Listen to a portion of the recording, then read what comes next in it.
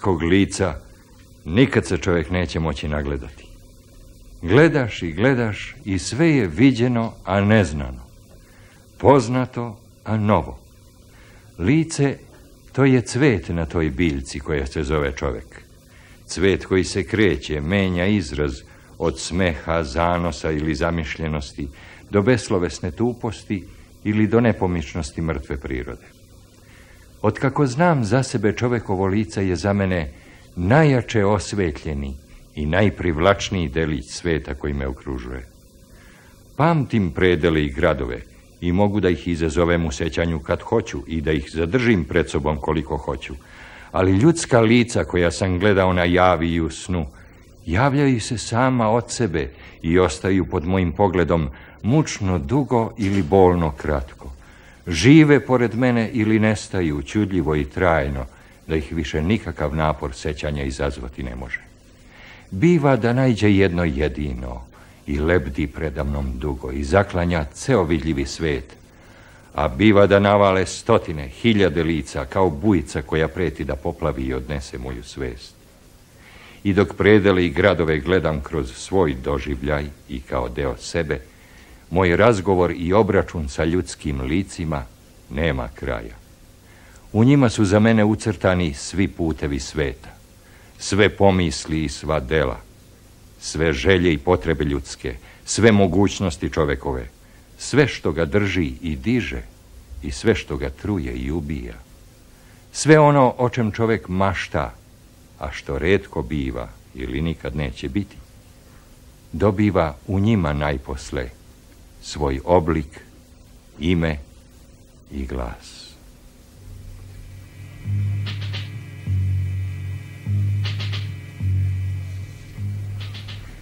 Nema pravog reda u svijetu. Nema. Novac ide tamo gdje je roba, roba za novcem, a siroma čovjek nikako da popata konce kojima je to dvoje povezano. Eto, pođem ja u čaršiju ni za stranu. Držim ruku u džepu od gunja. Okrećem dvije akče, dvije tanke, malene pare. Sve bježe između prsta. I što se ja više spuštam, one čini mi se sve manje bivaju. E, nisu to one zdrave akče, što kažu da su bile u doba sultana Sulejmana kanunije. Kad je bilo, što mu se kaže, pjevac, akča, kokoš polovina. Nego su to ove pošljednje, krnje i nezdrave. E pa opet i za takve kakve su. Neka sam za jednu akču kupovao poke soli i svijeću. Ali evo sada trgovci podigli cijene. Pa poke soli akča, a svijeća akča. Znam, obje potrošiti ne smijem. A za jednu šta ću prije da kupim? Okrećem ja one dvije nesrećnice među prstima, prevrćem. Spustim jednu u džep, so. Ostavim tu, a spustim onu drugu, svijeća. Ali nikako jedno i drugo, a za jednu akču. A kod mene opet jedno bez drugog ne biva. Jer u mene su djeca mimo svijet. Eto recimo, kupit ću svijeću, a neću so. Dobro, lijepo se vidi i večerati i leći. Eh, ali sad ona, ono dvoje moje muške djece, neće ni da okuse čorbu. Nije ovo čorba, viču i plaču i udaraju kaškama u siniju. Dok se ja ne naljutim pa ne izbijem oboje. Oni pobjegnu pod jorgan, ali usnu još jecaju. Jer bijen i sit nije jedno isto. Meni žao, ali neću da pokažem. Pa mi ono što sam onako neslano pojeo trgne na nos od goleme nesreće. A opet, ako kupim so, već ram u mraku, dobro, djeco se nakusaju slane, čorbe i hljeba, kakav je daje. Eh, ali sad druga muka. Ona moja najstarija, razmažena i sve na nekakvo bogatstvo sluti. Pa neće ni da okusi čorbu. Ne vidim je, a dobro znam, onako u mraku kako grči usta naplaču. šapuće. Traži da se zapali svijeća, makar volicna. Da rastjera mrak. Kusaj, li me ja budalo dok ima šta. Hoću svijeću. Božje sunce, sirotinska svijeća. Ali ona svoje po svoje, hoće svijeću. Hvata mi se za rukav. Ne mogu, veli babu, nije mi slatka večera da je begovska ovako u mraku. Ja je guram od sebe i to može se ljutim. Pa dođe mi da zaplačem zajedno s njom. Eto i dok tako silazim u čaršiju i mislim o svemu tome, dođe mi teško. Stegnem onu jednu akću među prstima svom snagom i kažem sam sebi. Evala ćeš danas kupiti isu i svijeću, da nam je bar nekoliko dana i slano i svjetlo, pa makar poslije pomrli. Svi u mraku i od gladi. Da, a kad dođem Naniću na dućan da pazarim, kaže mi na njegov momak, čelo, kriva ti ova jedna akča, nešto se vijena. Se si igraš njom na dlanu. Ja ga gledam, gledam, na pošljitku ne mogu da izdržim nego planem. Kriva, jeli? Krivo je meni momče od znam za ase. Nego mjori tu so ili, ili ja odo kod drugoga. Vraćam se ja kući uz ono strmen. U šarpelju mi so, zakapom zadinuta svijeća, ruke u džepu prazne. Prazan i džep. Dok sam silazio bar sam mogao da se porazgorim s one dvije akče. U što ti je kleta para. Kad imaš u džepu makar i one dvije nesrećnice, nekako si drugi čovjek. Ovako sam sebi ne umiješ ni dvije riječi da kažeš. Da, da, s parom si drugi čovjek i u glavi na jeziku. Ovako, da si nekome krij, sve se nešto sklanjaš s puta i samo jedno misliš. Pare oduše, so će se pojesti, svijeća dogorjeti, a poslije, a? Neslano i mračno. Da, i ti meni sad kažeš, ostavi to. Ostavio bi ja njega, ali neće ono mene. I ja opet kažem, pa kad bi znao da će sutra zbog toga i glavu izgubiti. Nešto tu ne valja, a ne valja. Ili para nije dobro raspoređena po svijetu, ili so, svijeće druga potreba. Nije. Nije pa nije.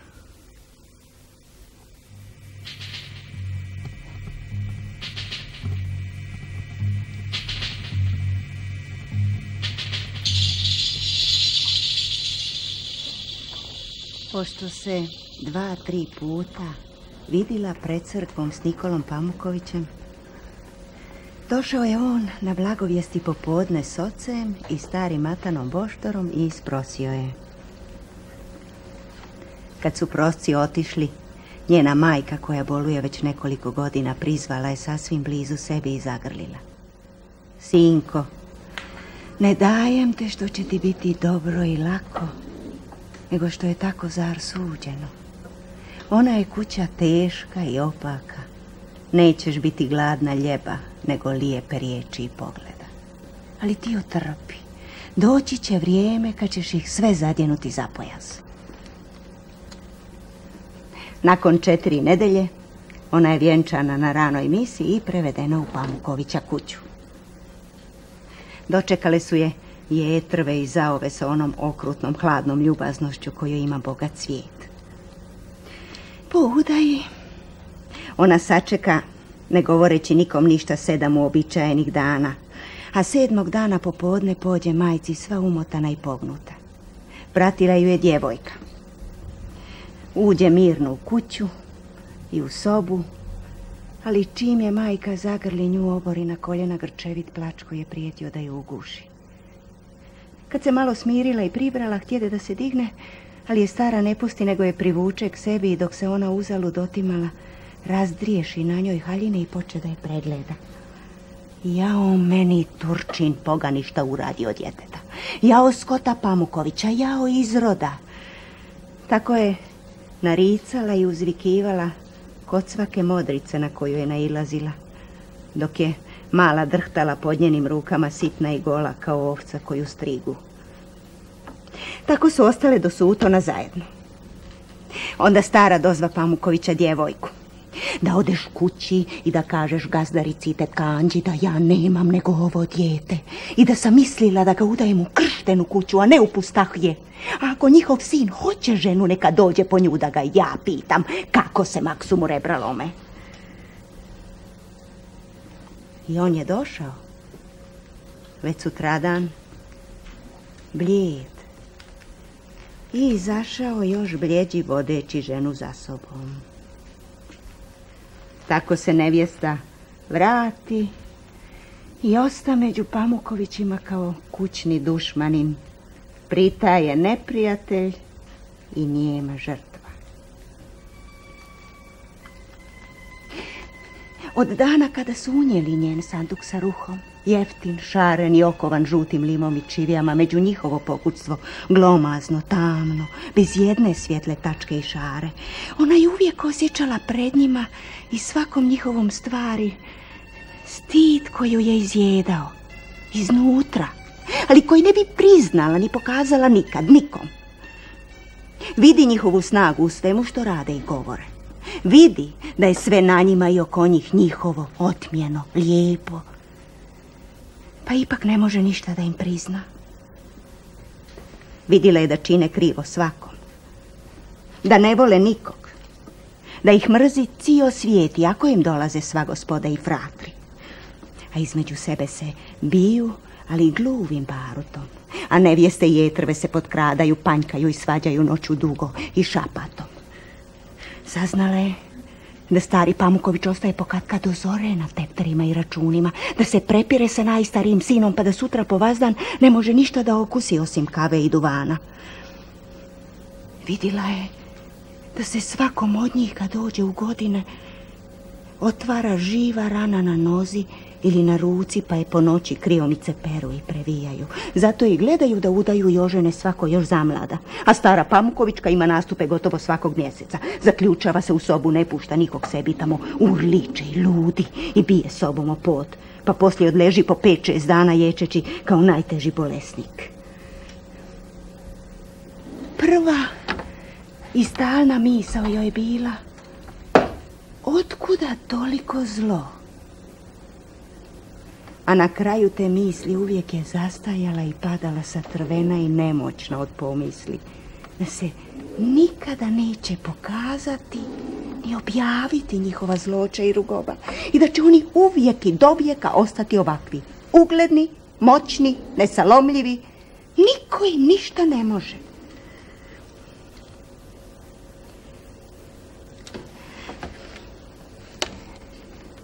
Najgore je bilo s mužem. Znala je i osjećala da je mraz iskriveno, muklo, duboko, još od onog dana kad je poslije njenog bježanja doveo od majke. A kad ona i poslije prve godine i ne zanese. On poče češće da se opija, da dolazi uzoru ili da se vraća tek sutradan. Jednom ode na kiseljak i vrati se tek trećeg dana iza ponoći. Ne očekujući ga više te noći, ona je spavala. Probudi je promukao glas, trgne se, skoči, pomože mu da sjedne. Bio je kaljav, čađav, ispoljevan vinom i jelom. Teško muko mu je skidala za brekle čizme, a on je trepćući gleda u nju nekim ne toliko pijanim, koliko zlim pogledom. Odjednom on trgnu nogu i udari je čizmom u grudi. Kučko bezdjetna. On izusti opet nešto gadno pominjući njenu majku, ali ne dovrši psovku jer ga ona udari onom skinutom čizmom ravno u lice. On, uzdignute ruke na odbranu i zaprepašćen, više od njene neočekivane smjelosti nego od samog udarca ostade tako. A onda, kao da se odjednom istrijeznio, skoči i onako kako je bio jednom nogom bosa, drugom obuven, poče da je goni po sobi. Kako je bila brža od njega, ona se dokopa vrata, pretrča hodnik, pobježe u onu manju avliju i sakrije se među kacama i buradima. Onako lako obučena i bosa, sačeka zoru, pa se onda vrati i leže a sutra se život nastavi kao da ništa nije bilo.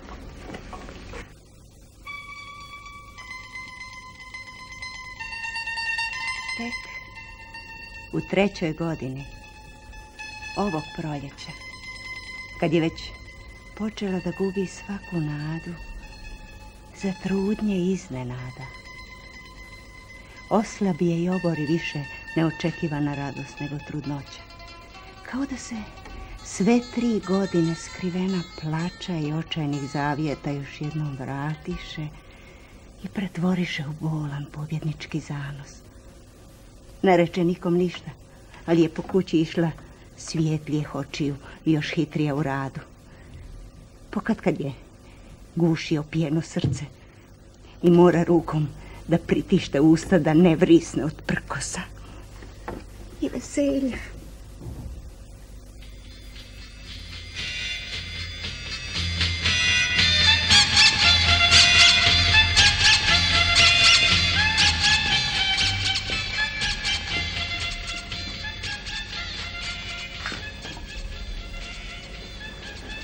Ko može znati što jedna žena misli kad kaže tako sutra, sutra.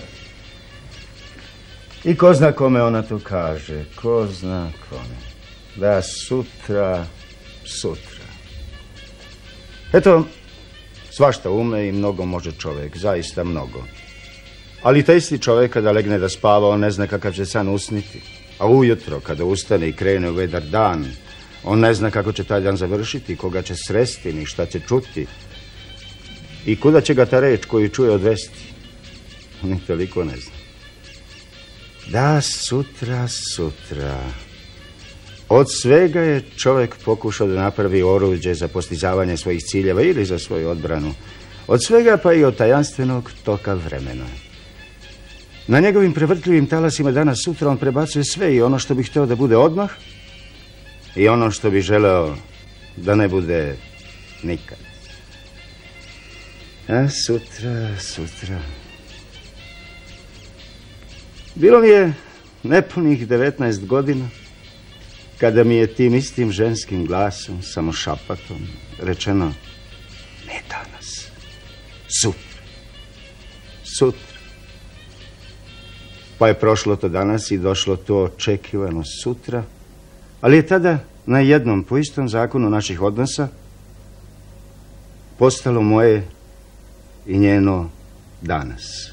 I opet je važilo ne danas, sutra, sutra. I sve tako. A ono pravo, željeno sutra, nije došlo nikad. Da, vreme i život ostali su mi dužni. I ne samo to.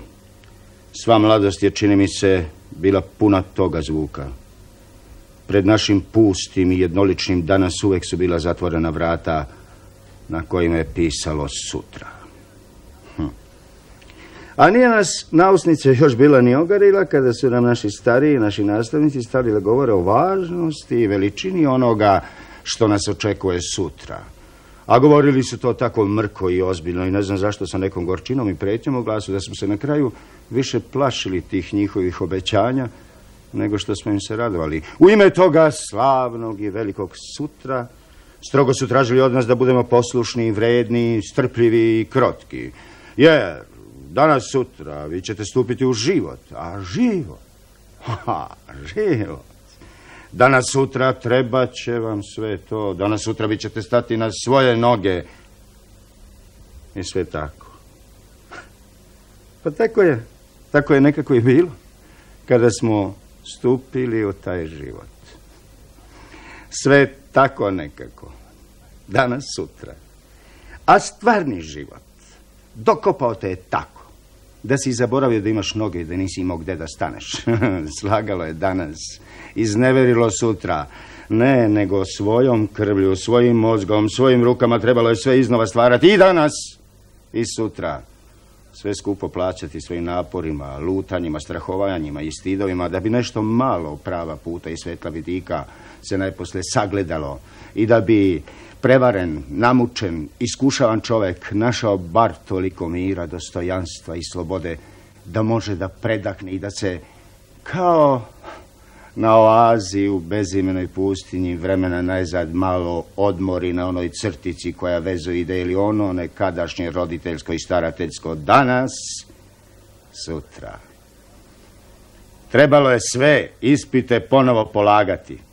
Raditi ono za što te nisu spremali. Znati ono čemu te nisu učili. Trebalo je krvavo braniti od sebe i od drugih svako svoje danas.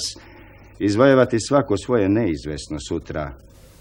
Da bi se koliko toliko živelo kao čovek među ljudima.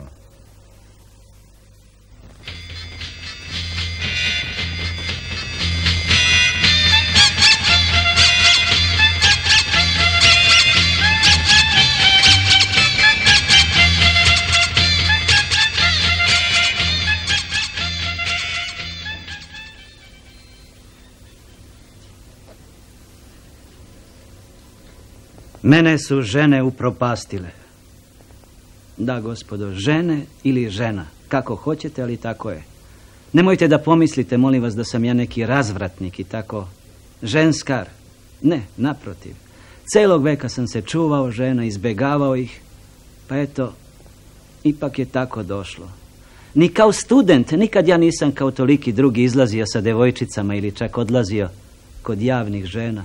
Bože sačuvaj, čuvao sam se toga kao vatre. Nije uvek bilo lako, ali ja sam se uzdržavao. Shvatajući odnos prema ženi onako kako po mom mišljenju svaki kulturan i moralan čovjek treba da shvati. To uzdržavanje tražilo je mnogo snage i strpljenja, to priznajem. Prvih nekoliko godina proveo sam kao profesor u unutrašnjosti, a posle sam postavljen u jednoj gimnaziji u Beogradu. I tu je sada početak svih mojih nezgoda. To je bilo odmah prve školske godine. Jednog sunčanog oktobarskog dana nešto me prosto isteralo iz mog malog stana i oteralo me pravo u glavnu ulicu među onu gustu masu šetača i poslovnog sveta. Svratio sam u jednu knjižaru i kada sam izašao, stao sam na samoj ivici pločnika i posmatrao gužvu i šarenilo kola i pešaka. Stojim ja tako, dok jedan malen i lep automobil naglo ukoči i stade tačno predamnom. Iz kola izađe jedna žena, dama, lepa i visoka, elegantna, i prođe pored mene tako blizu da me se dotače svojim rukavom. Šofer se vrati na svoje mesto, a ja ostadoh tu pored kola, vrlo iznenađen tim što mi se dešava. Posle nekog vremena vrati se visoka žena, u rukama je nosila nekoliko paketića i pre nego što je zakoračila da uđe u kola, ispade je jedan paketić. Kao čovjek koji zna red, ja se sagnem, podignem i dodam joj mali paket. Manje u životu nisam video. Žena me pogleda zahvalno i nasmejano i pošto me dobro odmeri, da nije moglo biti sumnje ni zabune, trepnu očima. Kao da namiguje, ali sa oba oka odjednom. Ja skidoh šešir i poklonih se kako je red. I tek kad kola krenuše, ja se zbunih i pocrveneh. Te noći dugo nisam mogao da zaspim. Sve hoću sebi da objasnim otkud to meni da se desi. I sve mi jasnije biva da ne može da bude samo slučajnost i ono naglo zaustavljanje kola tačno predamnom i ono sa paketićem i naročito onaj znak očima. Ali ako je znak, a znak jeste, onda mora nešto da znači. Šta je dakle htjela da kaže? I ko je ta žena? Tako sam se pitao i prevrtao po krevetu dobar deo noći.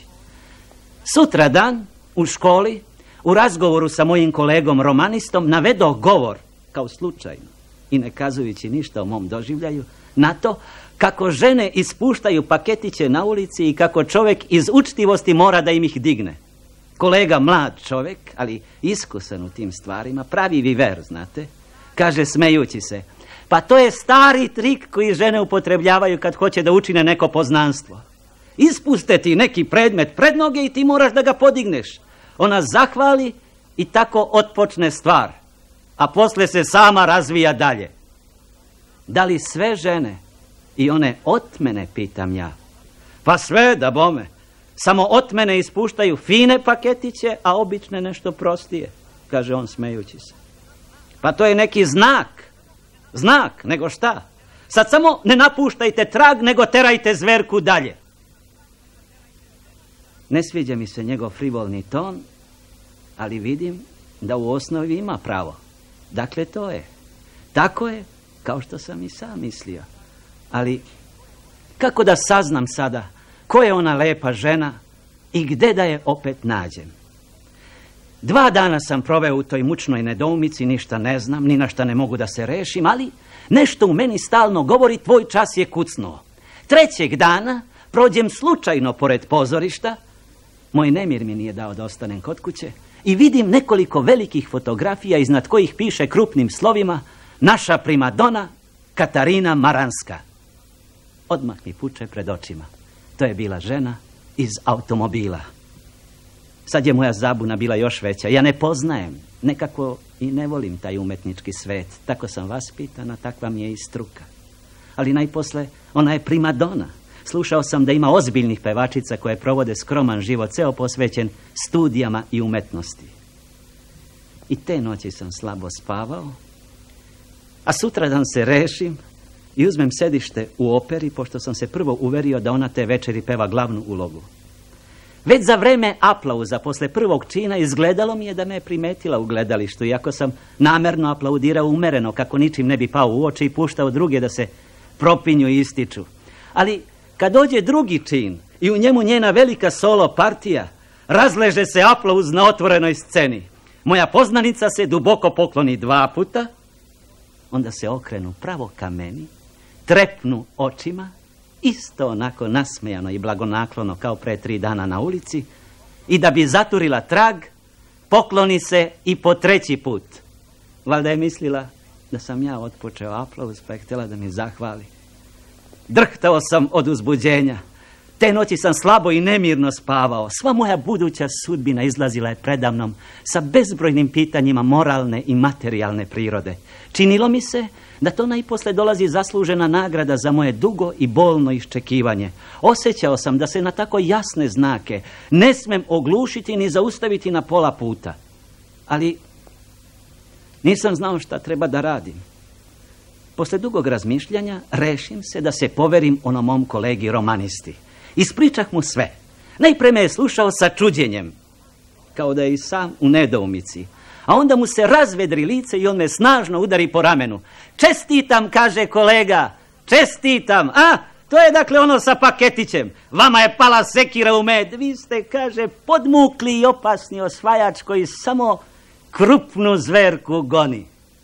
Vidim da on shvata stvar na svoj način, olako i neozbiljno. Ali što je glavno, vidim da ni on, po znacima koje sam mu ispričao, ne sumnja u moj uspeh i smatra da se stvar mora nastaviti.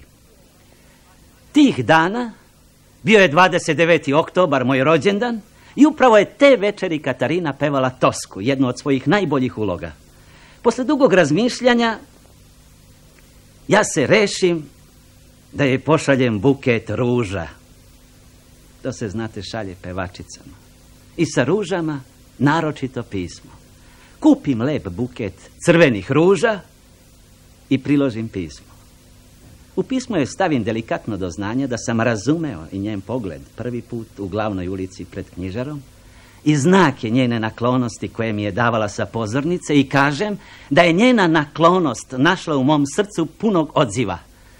Potajno sam se nadao da će za vreme prvog čina Katoska treba da se pojavi sa buketom cveća i izići sa mojim ružama. Hteo sam, znate, da budem načist.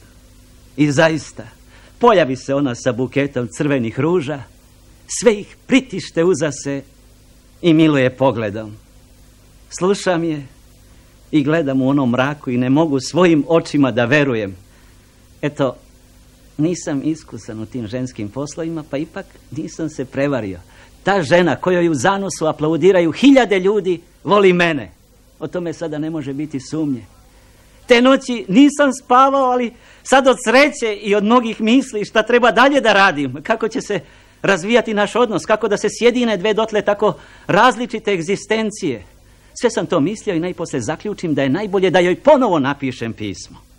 U pismu sam zahvalio na znakovima pažnje i ohrabrenja i odmah dodao da ja, razume se, ne želim da stvar ostane na ovome, nego kao čovjek ozbiljan i na svom mestu smatram da treba da uzme dalji tok i da nađe svoj prirodan i logičan završetak. I na kraju tražim da se sada kao što je prirodno vidimo i porazgovaramo o svemu. Već sutra prepodne predao sam pismo vrataru opere. Na moje veliko čudo odgovora nisam dobio. Nisam znao kako da tumačim stvar. Rešim se da joj napišem još jedno pismo, opet nema odgovora. Onda se setim telefona. Ali u telefonskoj knjizi nema njenog imena. Obratim se opet vrataru opere, neće da mi kaže njen broj. Da bome, kaže on, kad bi primadone objavljivale svoj broj telefona, on ne bi po vazdan prestajao da zvri. Ne razumem i ne uviđam zašto bi njoj drugi ljudi telefonirali. Druga je stvar sa mnom. Najposle uverim ga da je moja stvar ozbiljna i za dobar bakšiš, on mi da broj telefona. Odmah odem i potražim njen broj.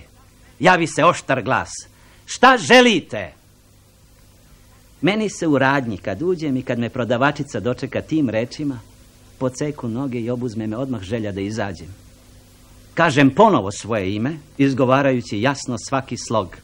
Posle malog čutanja odgovorim isti glas da gospođica nije kod kuće i da se ne zna kad će doći i zatvara telefon. Ostajem u potpunoj nedomici. Još dva puta sam pokušao da govorim sa njom telefonski, ali bez uspeha. Čim kažem svoje ime, ili me odgovore da gospođica nije kod kuće, ili se telefon kao sam od sebe zatvara. Ne znam, da li ste ikad bili u sličnom položaju?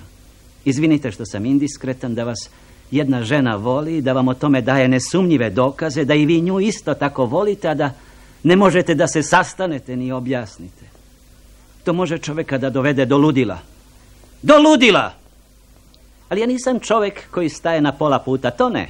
Jednom malom veštinom i bez bakšiša dobijem u operi adresu njenog stana.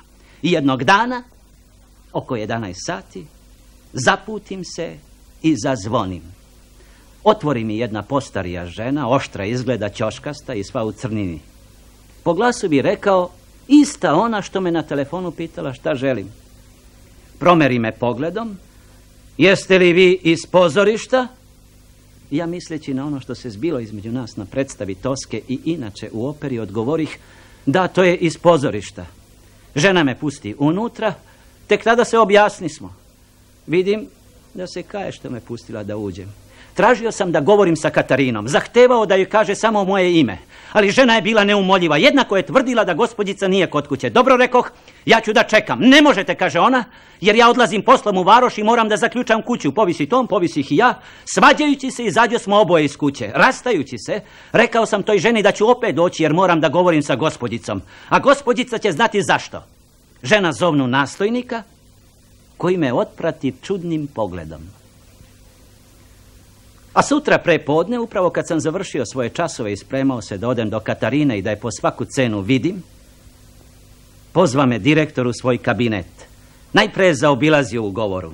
Žao mu je, kaže, što mu moje ponašanje, još donedavno besprekorno, da je sada povoda da bude nezadovoljan i da mora da me ozbiljno opomene. Na kraju kaže mi da mu je poznato da sam pisao i telefonirao Katarini i da sam odlazio njenoj kući i napastvovao je na sve moguće načine. Kad to čuh, krv mi jurnu u glavu i suze udariše na oči. Ja sam, dakle, nju napastvovao. Hteo sam da se objasnim sa direktorom, da mu iznesem kao pametnom čoveku sve po redu kako i šta je bilo, ali grlo mi se steglo i reč oduzela pretolikom nepravdom. Onda sam jurnuo iz direktorove kancelarije i otrčao u njen stan da tražim razjašnjenje zbog nezaslužene sramote koja mi je nanesena. Ona mršava žena u crnini isprečila se opet na vratima. Sudarili smo se, iako je čini mi se ni dodirnuo nisam. Posrnula je i odletela čak do zida. Hteo sam da joj se izvinim i da joj pomognem, ali ona je vrištala i dozivala u pomoć kao da su razbojnici u kući. Onako ogorčen i ojađen, Prošao sam pored nje da bih što pre došao do Katarine. Hteo sam da se objasnim, da je najučtivije i najmirnije zapitam na čemu sam, šta mogu da očekujem, kako da se upravljam i kako sve ovo da razumem.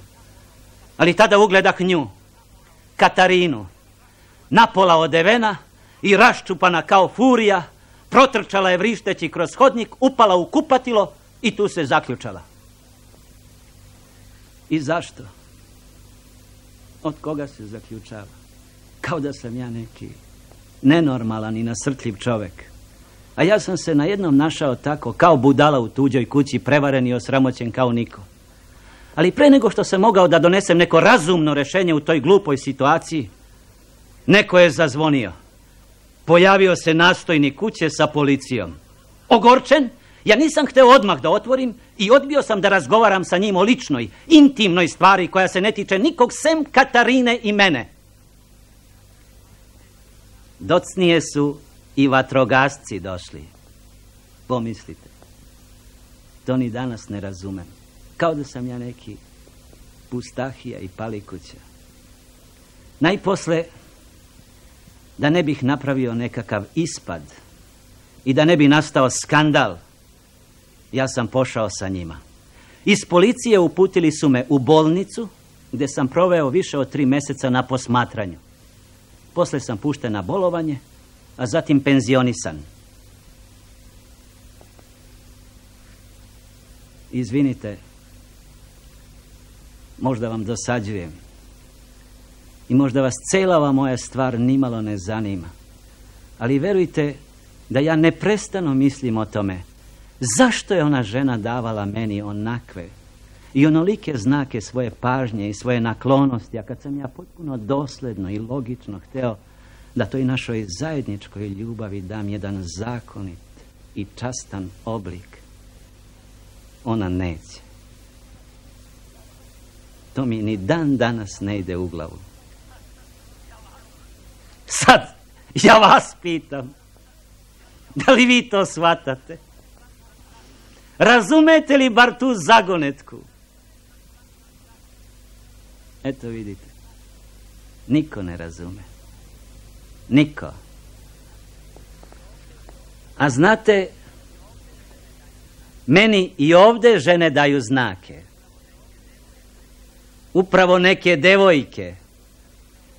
Nekoliko puta mi je jedna od njih isto onako trepnula sa oba oka, kao Katarina pred knjižarom. Ali ja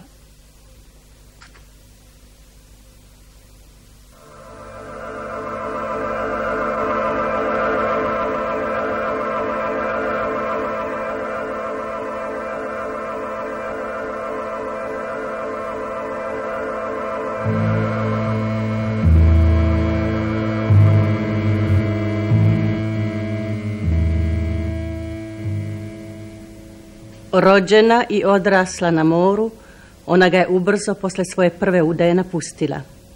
I od tada je živela stalno daleko od njega, sa izuzetkom letnjih mjeseci. Živela. Šta sadrži ta reč? Dva braka, oba kratkotrajna i bez pravog značenja i dubljeg traga. Zatim velika desetgodišnja ljubav sa pravim čovekom, u kojoj je sve pa čak i neizbežan kraj bilo lepo i dostojno. Onda njena 20-godišnja karijera operske pevačice, mirna, sigurna, bez trzavice i poniženja, koja inače često prate tu vrstu uspona. Njen glas je i sada pun, njeno tumačenje uloga zrelije i dublje nego ikad.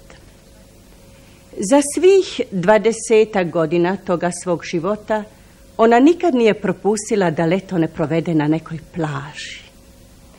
To je bilo njeno najbolje doba, sjajni vrhunac svake njene godine sa još lepšim obećanjem za iduću. Bezbrižna, sigurna, bez senke u sebi i oko sebe, ne misleći na gomilu sveta koji je okružuje drugačije, nego na pesak i kamen i nebo i more koji su je potrebni za njeno letovanje. Izgledalo je i drugima i njoj samoj da prirodni zakoni zaista nemaju vlasti nad tim telom. Ljudi su govorili o tome kao malom čudu. Sad tek čini joj se, vidi sebe onakvu kakva je u toku mnogih godina svoje izuzetno duge mladosti morala biti u očima drugih. Jer sumnja i briga vide ono što sreća i pouzdanje ne mogu nikada sagledaju. Išlo je sve do tog leta pre četiri godine. Ali tada se neočekivana i neverovatna prvi put javila misao o promenama. Laka senka između nje i njenog leta na moru. Zla nagovest koja je otišla s njom da zimuje. Uselila se u nju i tinjela tu kao pritajena bolest. Sama sebi nije mogla da veruje. Je li moguće sve mogući Bože, je li moguće? Je li moguće da je s ovim prokletim telom koje se odmetnulo i postalo je neprijatelj, zaista došlo dotle da ono nije više za plažu ni za pokazivanje, da ni sama ne može bez straha da ga gleda, a kamoli da ga iznosi na sunce, među veseo i svire pobleštav svet. Hoće li bar još ovog leta moći da se pokaže na nekoj maloj plaži, skromno, bez bleska i velike radosti, ali bez bruke, samo bez bruke. Nedeljama i mjesecima bavila se pitanjem najpodesnijeg kostima za kupanje, pitanjem koje je nekad rešavala kao kakav mladić sportist, brzo, lako i uzgreti i uvek na najsrećniji način. To je njen život posljednjih godina. Ne život, nego ludilo koje joj zaklanja sveti život i čini od nje usamljeno stvorenje, mučeno suludim mislima kakve nikad ranije nije poznavala i beskrajnim naopakim objašnjavanjima sa starenjem i starošću. Govori sama sebi kao da se s nekim nevidljivim prepire. Ne, starost nije lepa ni dobra. Ni u čem, ni u čem, ni u čemu. Nije čak ni čista. I ne samo što pažnja otupi, obzir oslabi, interes obamre, pa je čovjek sklon da se zapusti u odelu i držanju, nego čak i samo telo kao da se teško čisti, a lako prlja. Samo od sebe iznutra se prlja. A kad s krajnjim naporom čovjeku koji stari i uspe da se održi uredan i čist, to je onda sterilizovana čistoća apoteke, a ne čistoća cveta. A mladost je čista, jer se njeni sokovi obnavljaju, dok su sokovi starosti ustajali i kad nisu potpuno usahli. Ni seda vlas nije časna kad liči na sramotu koju sakrivaš, a sakriti je ne možeš. Ni bora na licu. Bore ulivaju svakom poštovanje i daju draž i toplinu licima skromnih starica i dostojanstvo čelomislioca. Ali te iste bore na licu lepe žene koja počinje da stari izgledaju kao zli pečati. Jer te bore izazivaju kod onog koji gleda ista ona osjećanja s kojima ih ta žena nosi. One se ne mogu kozmetikom sakriti, ni masažom izbrisati. U njima ostaje uvek senka starenja, kao što na mramornim i bronzanim bistama po provincijskim muzejima uvek ostane malo prašine u borama lica i naborima odela. Ništa nije teže, ni strašnije, nego gledati svet oko sebe očima bivše lepotice. Pogled takve žene u tuđim očima traži da vidi samo jedno, utisak koji ostavlja njena pojava. Nigde i nikad više bezbrižnog sjaja nekadašnjeg. A i kad uspe da mu vrati nasilu nešto tog sjaja mladosti, onda on opet daje licu izgled nečeg lakomislenog i ljudskastog, pomalo nepristojnog. Takva je ta kleta starost. Da se sve okreće protiv onog, protiv kog je i inače sve, jer stari. Ona nije više razmišljala o starosti, ona je izmišljala, preuveličavala i klevetala starost. Pred njenim zabludelim, otrovanim mislima ništa nije nalazilo milosti. Ali ne treba misliti na to. Barem ne ovdje na suncu. Treba čvrsto zaklopiti očne kapke. Zatvoriti oči. Zaboraviti da ih imaš. Od njih dolazi sve zlo. Jer one primećuju i mere promene. Neki da ti ludo život. Ne deliti ga na starost i mladost Treba se sav predati prostim, a velikim stvarima koje se ne menjaju. Bar ne tako brzo. Steni na kojoj si, suncu, modrini neba nad sestrinskom tamnijom modrinom mora, zbrisati svaku miso, poređenje i ocenu, izgubiti se bez mere i želje, to je dobro. Dobro. Ali ne traje dugo. Kratak pogled uhvati neku mladu ženu ili devojku kako sigurna u sebe, bez misli o svom telu, izlazi iz mora zabacujući mokru kosu ili se sprema da skoči u. Kad bi ove žene znale kako to prolazi i kako... A šta ja tu naričem i dozivam? Šta me se tiču ostale žene i sav svet? Pa kako da me se ne tiču? Jer to što se dešava meni, dešava se svakoj ženi na svetu. Mlada i lepa ne ostaje valjda ni jedna. Svakoj, da, naravno da se dešava. Po samoj prirodi stvari dešava se. Ali možda ipak ne svakoj. Ili ne ovako? Ne ovako. I sa nekom gorkom i neočekivanom jasnošću uviđa da tako stare samo oni koji se svoje starosti stide. Da je nesrećno svako telo koje živi samo za sebe i samo sebe radi. A pravu meru svoje nesreće uviđa tek kad počinje da stari. Branila se od tih misli, ali nije mogla da zaustavi ono ludo izdvojeno, ne ovako. Udarala je čelom o meku tkaninu ispod koje se osjeća večiti kamen. Ne ovako, jao, ne ovako. Sa strahom se uhvati da tiho u sebi cvili.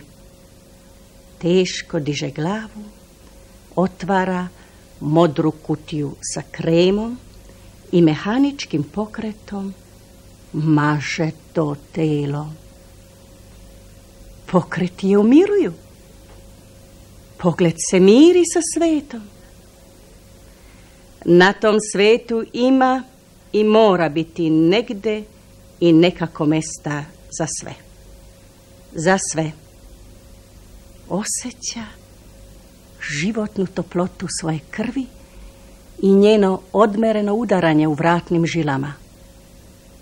Od toga je na nju sve više nailazila meka klonulo sna. Zar ću zaista zaspati? I to ovde, svima na vidiku. Zaista. Ali pitala se sve slabije. Na posljedku, šta je to ovde i ko su to svi? Pa to i ne postoji. Spavati na kamenu. Šta znači spavati. Šta znači kamen? Pa i to se gubi u okeanu nepostojanja. Spava. Večnost. Nije se prenula iz kratkog sna, nego lako izronila. Preobražena i očeličena. Sporo, ali lako se digla, prišla ivici strme stene, malo pognuvši glavu, dignuvši visoko ruke, bacila se, bez zaleta, strmoglavce, u finom luku. More je bilo hladnije, tvrđe i tamnije nego što se moglo očekivati. Ali ona nije očekivala ništa. Tonula je. Kad je izronila, na licu je iznela svetlu masku žitkog sjaja. Isplivala je. Možda i jeste sve dobro. Osjeća se laka, a velika i moćna, kao svet koji se večito menja i uvek je isti. Mirna i srećna u okrilju dobrog trenutnog zatišja.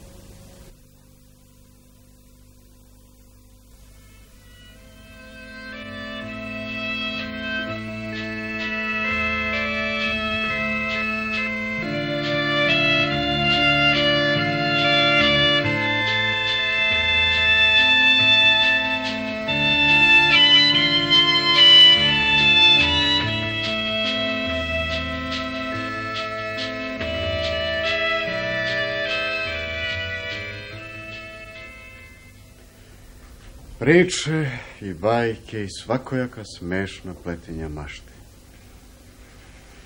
To treba ugasiti kao smrljivu lampu, odbaciti kao nedostojno zavaravanje. Znati istinu i pričati istinu. A istina je da na ovom svetu ima mnogo lepih stvari, ta lepota vidljiva i kolima se vozi. Ali nedostižna i nezadrživa.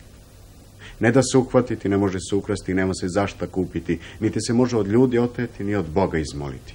Kao priviđenje je nestvarno i kratkoveko, a draže od svega što je živo.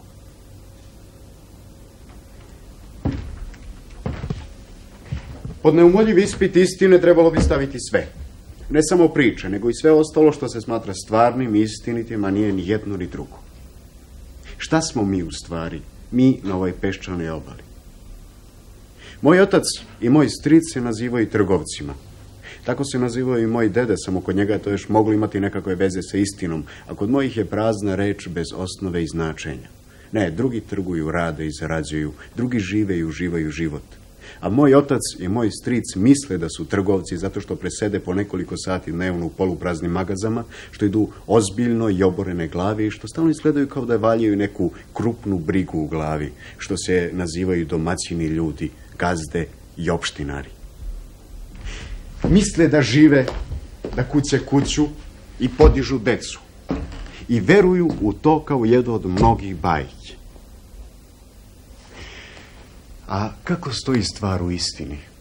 I šta vredi sve to u sebi i po sebi? Ta kućica je nasleđena od majčinog dede, ali kao što se nasleđuje bolest. Nikad nije bila svetla, ni zdrava, ni čvrsta, ni lepa. Sad je oronula i potisnuta novim savremenijim zgradama kakvih nije bilo pre 80 godina kad je ona zidana. Istina, majka se mnogo muči oko čišćenja i održavanja te kućice, kao što se žene iz dva ranija naraštaja mučila. Dvorište je zasađeno cvećem, ali bez mnogo reda i bogatog izbora. Sirotinski.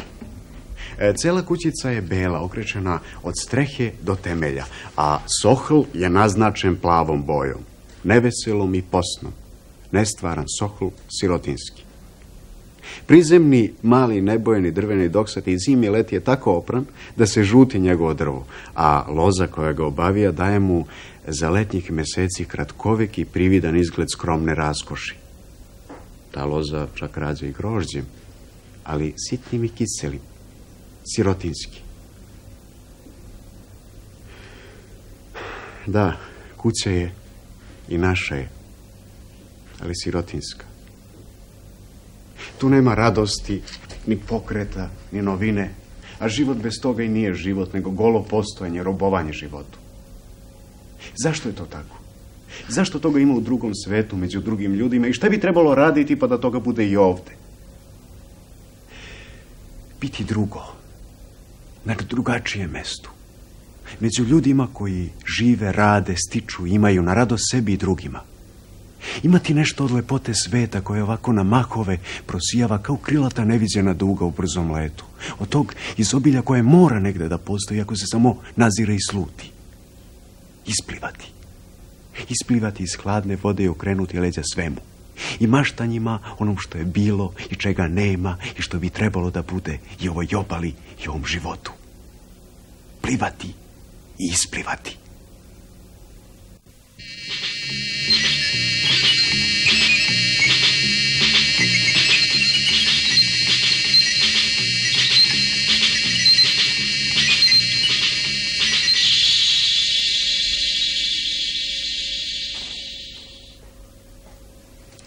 Mali ljudi, koje mi zovemo deca, imaju svoje velike bolove i duge patnje, koje posle kao mudri odrasli ljudi zaboravljaju.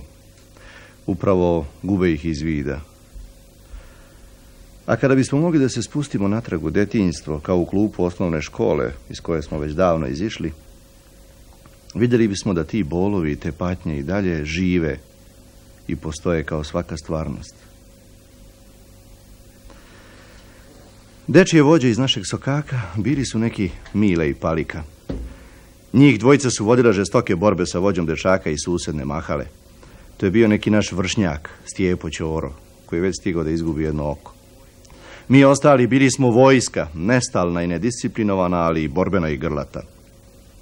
Gotovo svako predveče dok smo sedeli iskupljeni oko kamenite česme, prilazile bi vođe ponekom od nas, odvodile su ga u stranu i muklim i ozbiljnim glasom postavljala mu pitanje.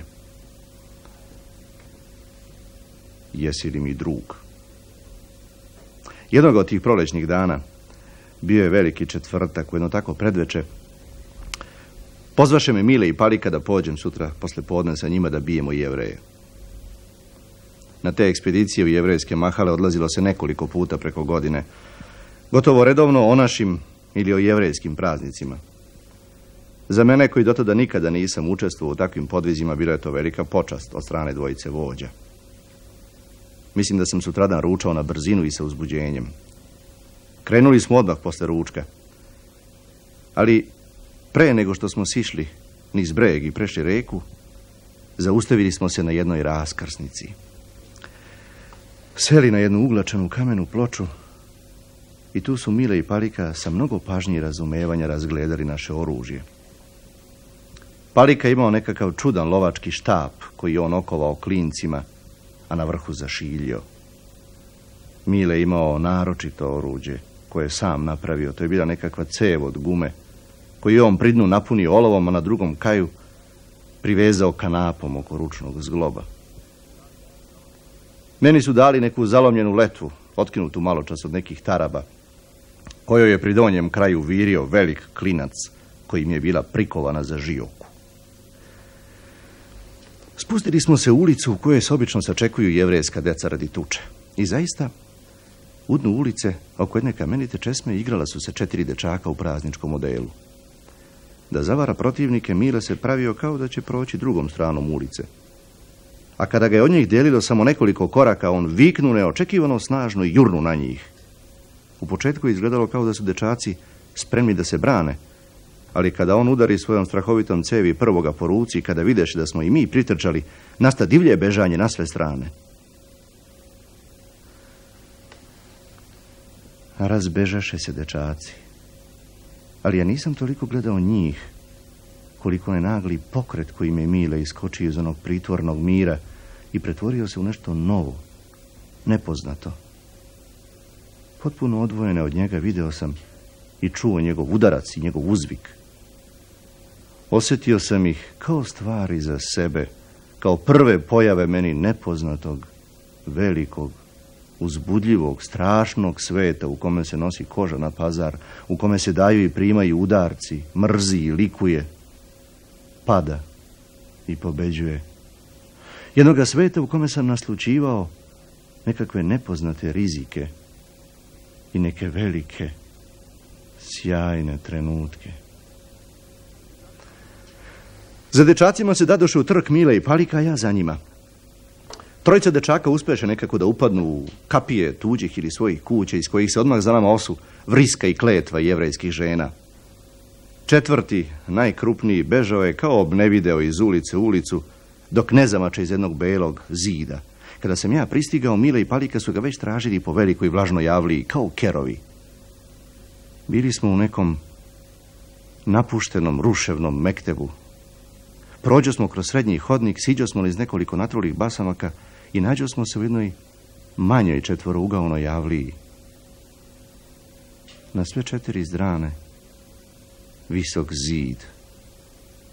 U jednom čošku neke pozelenele daske, ostatak od nekog krova prislonjene uza zid i donjim krajem podignute na jednu gredu. U prostoru koji je ostajao od grede do zemlje jedan dobar pedalj, ja ugledah nečije dve cipele – nepomične i grčevito pripijene jedna uz drugu. Ponesem tom čudnom hajkom, dozvah Mila znakom i ukazah mu ponosno prstom na moje otkriće. Ne gledajući mene, nego ukočenim pogledom one cipele prišapnu mi da ostanem tu na ulazu i da ne dam dječaku na vrata. Oni palika siđoše, sa onog posljednjeg basamka u avliju, palika stade raširenih nogu, podignute toljage, zauzeh odmah i ja takav stav. A Mile se primicao onoj gomeli dasaka nekim ratničkim hodom, ne skidajući očiju sa cilja. Ali pre nego što je stigao da se primakne, jevrejski dečak prnu iz onog svog zaklona kao ptice i žite i poče da beži po avliji. Nastade divlje bežanje i vijanje u kom je dečak natrčavao čas na palikinu toljagu, a čas na milovu cev od gume. Ali nijednom nisu uspevali da ga udare po glavi ili po leđima. Zahvatali su ga samo sa strane po rukama ili nogama.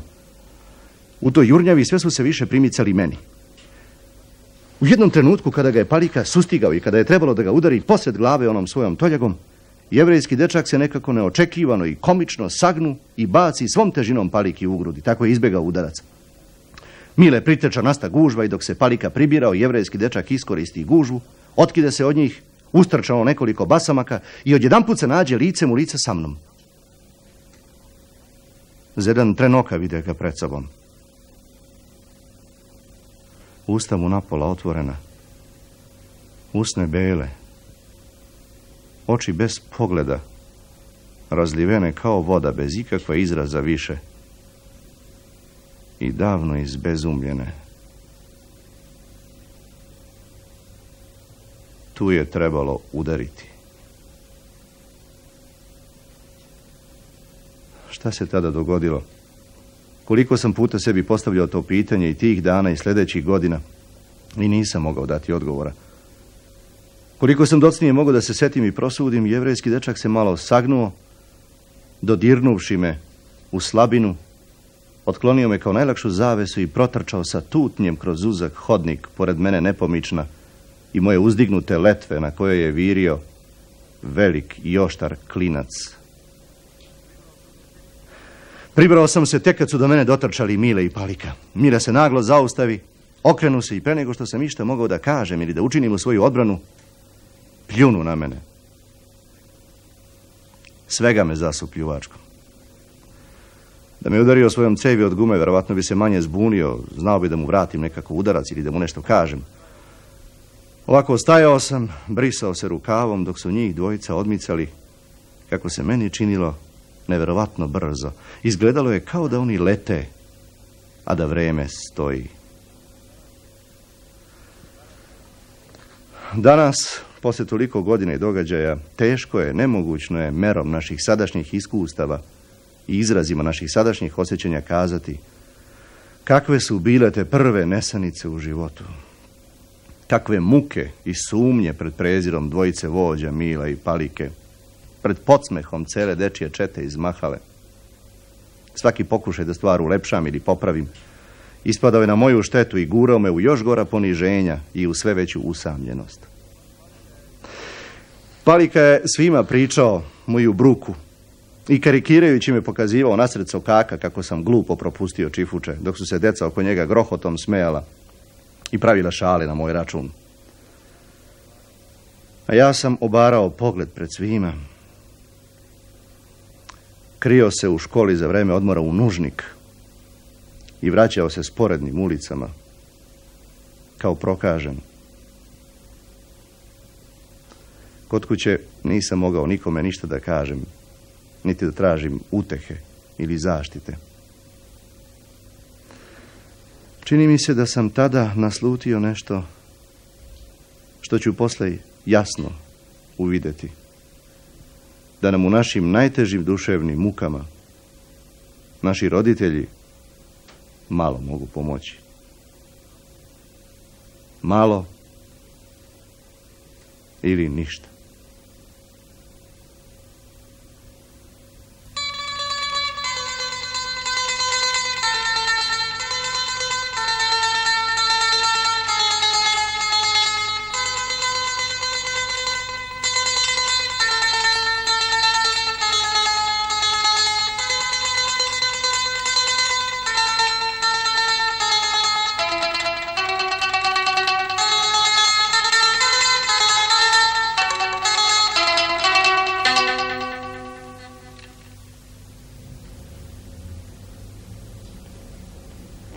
Preko 30 godina smo proveli. Moj pokojni muž i ja u braku. A to je bilo 30 godina čutanja.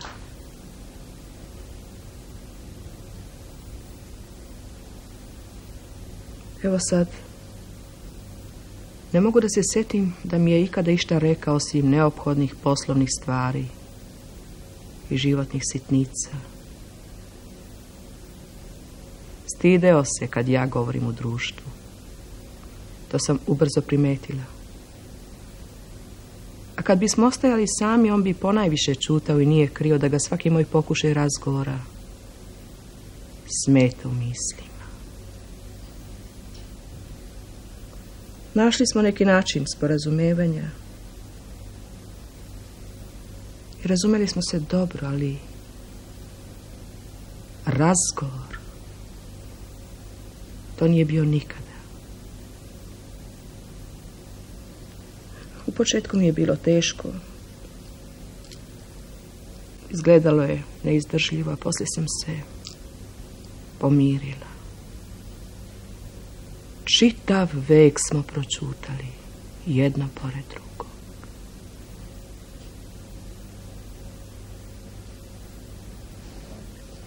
Čudno.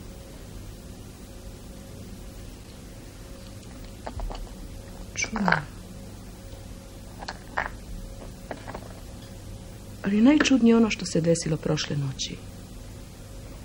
Prva dva dana je bolovao, miran i čutljiv, kao uvijek, ni sa doktorom nije gotovo ništa govorio.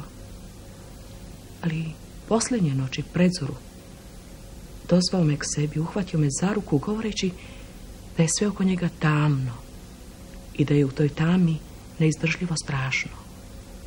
U sobi su gorele sve sijalice. On je neprestano ponavljao da je tamno i strašno i molio me da govorim, da mu pričam. Šta da ti kažem? Reci nešto bilo šta. Samo govori, govori, govori. I tako je neprestano ponavljao jednako me moleći da govorim. Bila sam iznenađena, izbunjena. Htela sam da mu pomognem, da ga utešim. Stavila sam mu ruku na čelo, ali reči jedne nisam uspjela da nađem i da izgovorim. Padao je na mahove u agoniju i čutao. Ali čim bi malo došao k sebi, jednako je ponavljao Govori, Paolo.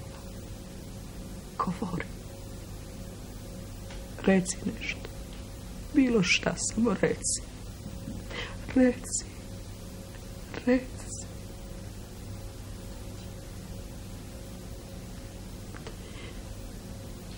Tako sve do jutros. Kada izdahnu.